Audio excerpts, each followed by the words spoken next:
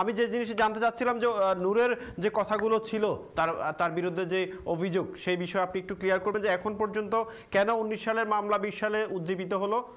কেন এখন পর্যন্ত জি। ফারুক ভাই আমার মনে হয় এই প্রশ্নটার উত্তর দেওয়ার আগে আপনি আমাকে কি প্রশ্নটি শুরুতে করেছিলেন এবং আমি কি বলেছিলাম সেটা একটু মিলানো দরকার। জি জি। আপনি আমাকে বলেছিলেন যে ছাত্রলীগের ছেলেপেলেদের সম্পর্কে তো অনেক অভিযোগ আছে।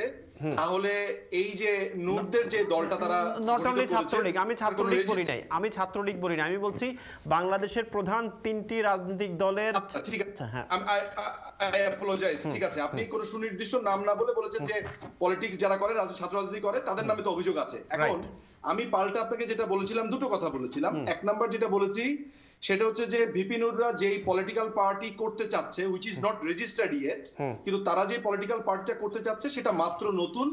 এখনও পর্যন্ত তারা সেই অর্থে ছড়ায়নি।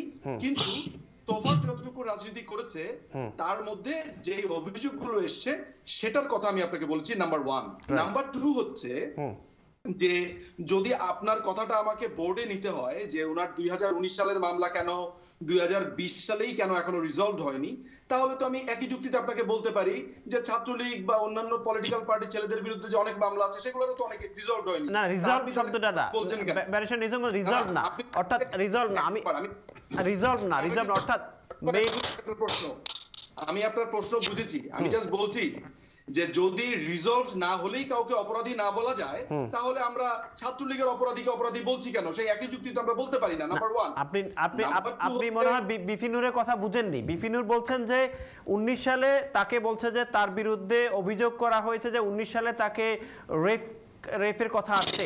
সেই অভিযোগটা সাথে সাথে না করে